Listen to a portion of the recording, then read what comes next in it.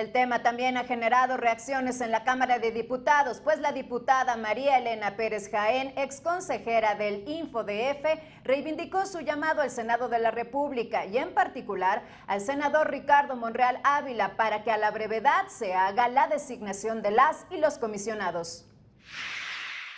Es un llamado a los senadores de Morena, a todos los senadores del Senado de la República,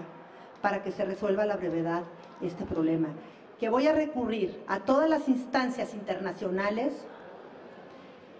para señalar, para denunciar no solamente la actitud del secretario de Gobernación,